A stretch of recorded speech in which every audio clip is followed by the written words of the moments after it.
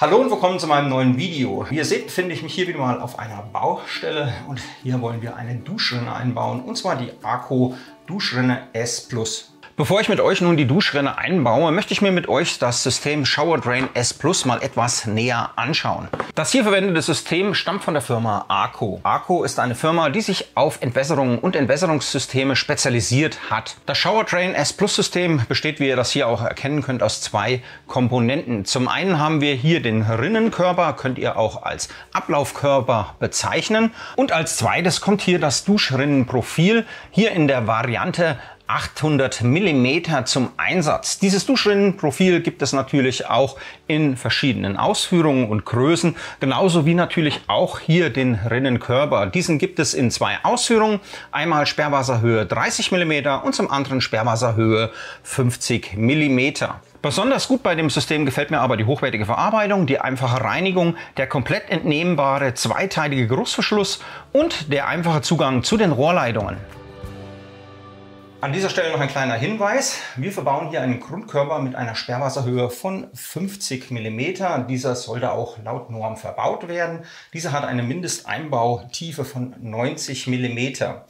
Ich weiß, das ist manchmal beim Altbau schwer zu realisieren. Hier gibt es auch noch einen zweiten Grundkörper mit einer Sperrwasserhöhe von 30 mm. Dieser hat eine Mindesteinbauhöhe von 70 mm. Jetzt kommt gleich die Frage, was ist eine Sperrwasserhöhe? Das ist ganz einfach erklärt. Ihr seht hier den Siphon und das ist die Höhe, wie das Wasser im Siphon steht. Das ist die Sperrwasserhöhe, hier in diesem Fall 50 mm. So, je nachdem, was ihr dann hier verbauen könnt, müsst ihr euch hier den richtigen Grundkörper aussuchen. Ich empfehle aber immer, den Grundkörper mit der Sperrwasserhöhe 50 mm zu verwenden. Kommen wir zu unserer Einbausituation. Wie ihr seht, haben wir schon einige Vorbereitungen getroffen. Hier ein wichtiger Hinweis. Achtet bitte auf die Installationshinweise in der Bedienungsanleitung und arbeitet bitte hier gerade bei der Installation des Grundkörpers sehr genau. Denn Fehler, die hier gemacht werden, können im Nachhinein nicht mehr korrigiert werden. Wie ihr seht, befindet sich der Grundkörper schon an der späteren Position, an der wir ihn montieren wollen. Wir wollen ihn hier mittig hinten in der Dusche montieren. Hierzu auch ein wichtiger Hinweis. Hier gibt es eigentlich zwei Einbausituationen, die ihr beachten müsst. Zum einen die Einbausituation, Grundkörper befindet sich direkt an der Wand. Oder zum anderen Einbausituation, Grundkörper befindet sich nicht an der Wand. Hier haltet ihr aber bitte ein Mindestmaß von 110 mm zur Wand ein. An dieser Stelle auch noch ein kleiner Zusatztipp. Ihr habt vorhin gesehen, dass wir den Bauzeitenschutzdeckel schon abgenommen haben. Das macht ihr bitte nicht. Der Bauzeitenschutzdeckel sollte bitte so lange auf eurem Ablaufkörper montiert bleiben, bis dieser im Estrichboden eingebracht worden ist. Übrigens hier vorne seht ihr auch eine Kante. Auf dieser Kante steht Oberkante Estrich. Das heißt hier, das ist auch eure Abziehkante für euren Estrichboden. Wenn wir natürlich dann dementsprechend unseren Ablaufkörper hier hinten an der Wand montieren wollen, stört hier hinten die Kante. Das heißt, wir können die Kante je nach Einbausituation hier einfach abbrechen. Dafür einfach den Körper so in die Hand nehmen und die Kante dann dementsprechend einmal nach unten und einmal nach oben knicken und somit können wir sie dann dementsprechend hier sauber abbrechen. Jetzt können wir hier unseren Grundkörper an der Wand positionieren und somit können wir dann dementsprechend auch unseren Grundkörper inklusive Bauzeitenschutzdeckel an der richtigen Stelle hier montieren. Ein weiterer wichtiger Punkt, der noch zu beachten ist, ist natürlich jetzt die Einbauhöhe unseres Ablaufkörpers. Wie ermitteln wir diese? Das ist ganz einfach erklärt. Ich gehe jetzt einfach mal hier von unserem Fertigfußboden aus, das heißt Oberkantenfliesen. Das heißt, wir nehmen einfach einen Laser oder einen Richtschreit und übertragen dieses Maß jetzt einfach mal hier hinten an die Wand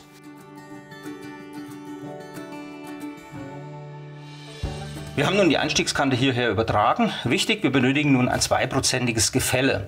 Wie errechnen wir das? Ganz einfach. Wir haben hier ein Maß von ca. 1 Meter zum Ablaufkörper. Das heißt 2% Gefälle entspricht hier 2 cm. Dieses zeichnen wir einfach hier noch einmal auf und haben dann quasi Oberkante Fertigfußboden hier aufgezeichnet.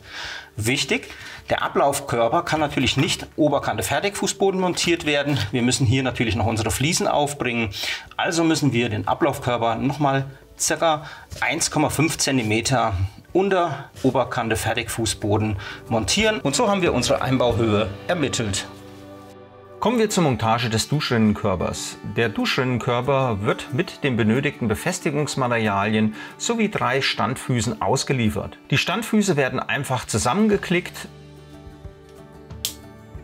und von unten in den Duschrinnenkörper eingeschraubt. Wir positionieren nun den Duschrinnenkörper an der gewünschten Position und richten ihn mithilfe der Stellfüße aus.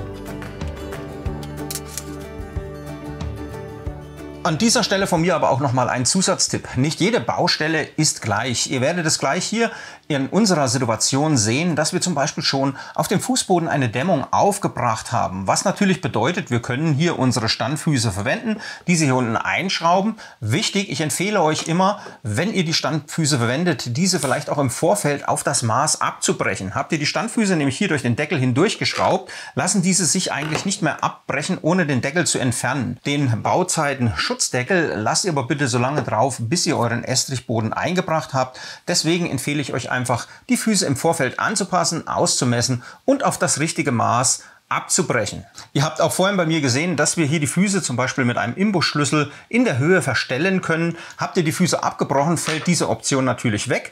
Was aber nicht so schlimm ist, wir können diese auch mit einem 13 mm Maulschlüssel in der Höhe verstellen und positionieren. Wenn ihr euren Ablaufkörper ordentlich auf eurer Baustelle positionieren könnt, ist das Verschrauben der Füße mitunter mit dem Fußboden gar nicht mehr nötig oder muss mitunter gar nicht vorgenommen werden. Es gibt wie gesagt Situationen, wo ein Verschrauben mitunter vielleicht gar nicht möglich ist, wie zum Beispiel in unserer Situation, da wir hier eine Dämmung aufgebracht haben, die wir nicht mehr zerstören können.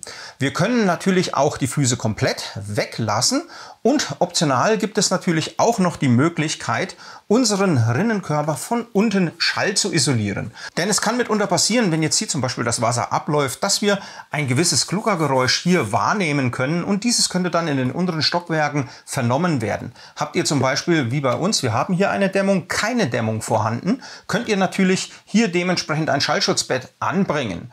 Dieses wird einfach hier unten auf den Rinnenkörper aufgeklebt. Das ist ganz einfach erklärt. Wir nehmen hier das Schallschutzbett, ziehen hier einfach den Schutzstreifen ab und kleben dieses hier unten auf den Rinnenkörper. So könnt ihr den Rinnenkörper nun an der Stelle aufbringen, vielleicht auch einfach nur aufsetzen. Ihr positioniert ihn sauber und betoniert ihn jetzt hier ordnungsgemäß ein.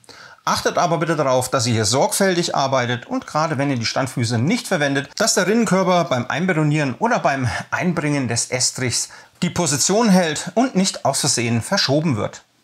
Haben wir nun den Rinnenkörper auf die Endposition gebracht und ihn dementsprechend ordnungsgemäß hier ausgerichtet und eventuell vielleicht auch befestigt, überprüft bitte nochmal eure Maße, dass dieser Rinnenkörper auch ordnungsgemäß steht und achtet auch darauf, dass dieser Wasserwaage steht. Ihr könnt hier einfach so eine Wasserwaage drauflegen und dieses nochmal überprüfen. Verwendet ihr hier die Standfüße, könnt ihr diese natürlich jetzt hier auch nochmal zum Ausrichten verwenden und so den Rinnenkörper dementsprechend ganz genau auf die richtige Position einstellen.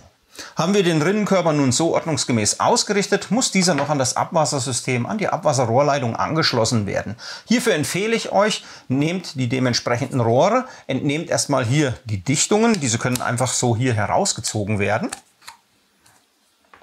und baut die Rohrleitung so im Vorfeld schon mal auf. So könnt ihr dementsprechend eure Rohrleitung im Vorfeld ausmessen, zuschneiden und dann dementsprechend hier einbringen. Beim Einbringen müsst ihr natürlich darauf achten, dass ihr die Dichtungen wieder hier ordnungsgemäß einbringt und so dann dementsprechend den Rinnenkörper mit dem Abwasserleitungssystem ordentlich verbindet.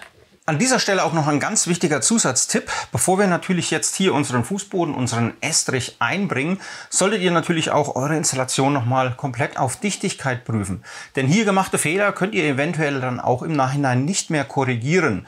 Wie prüfen wir hier alles auf Dichtigkeit? Das ist auch ganz einfach erklärt. Wir haben hier unseren Bauzeiten Schutzdeckel. Diesen müsst ihr nicht hierfür entnehmen. Hierfür ist oben auf den Bauzeiten-Schutzdeckel ein kleiner Aufkleber aufgebracht. Diesen könnt ihr ganz einfach hier aufziehen. Haben wir den Aufkleber nun so geöffnet, machen wir mit unseren Fingern hier drinnen etwas Platz, sodass wir unsere Dichtigkeitsprüfung durchführen können und geben hier so viel Wasser ein, dass dieses dann schlussendlich durch unsere Abwasserrohre abfließen kann.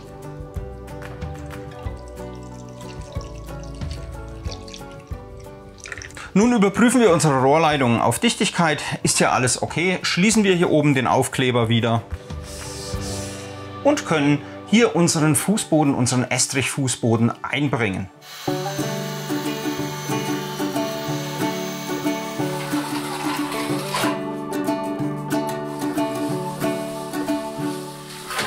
Nach dem Einbringen des Estrichbodens lassen wir diesen ordnungsgemäß aushärten und kommen im nächsten Schritt zu unseren Grundier- und Abdichtarbeiten.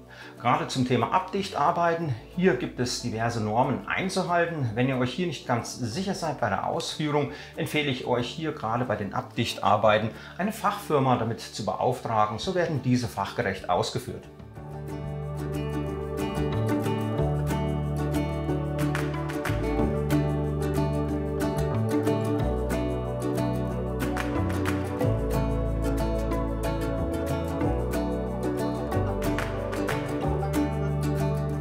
An dieser Stelle der Abdichtarbeiten kommen wir zur werkseitig angeformten Dichtmanschette. Diese dient zur Abdichtung und muss in das Abdichtsystem, wie hier zu sehen, eingearbeitet werden.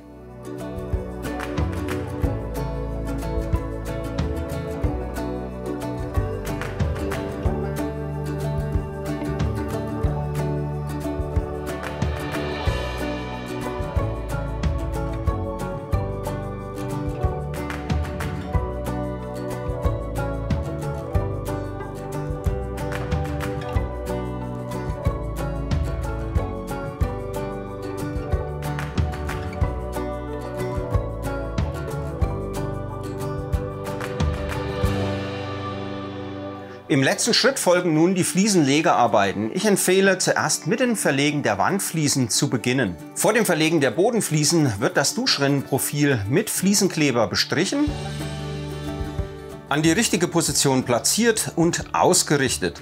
Im Anschluss verlegen wir die Bodenfliesen. Ist der Fliesenkleber nun abgetrocknet, können die Fliesen noch verfugt und die Silikonfugen eingebracht werden. So, damit bin ich auch schon wieder am Ende des Videos angekommen. Hier an dieser Stelle auch noch ein herzliches Dankeschön an die Firma Arco für das zur Verfügung stellen des Duschrinnensystems. Wenn ihr euch für dieses System interessiert, schaut einfach unten in die Videobeschreibung. Dort verlinke ich euch das System sowie weitere Informationen. Hat euch hier mein Video in irgendeiner Form gefallen oder weitergeholfen, würde ich mich natürlich auch über einen Daumen hoch freuen. Und wollt ihr noch mehr meiner Videos schauen? Kein Problem. Abonniert hier einfach meinen Kanal, denn abonnieren auf YouTube ist natürlich kostenlos. Ich sage Tschüss bis zum nächsten Mal. Euer Marc auf YouTube.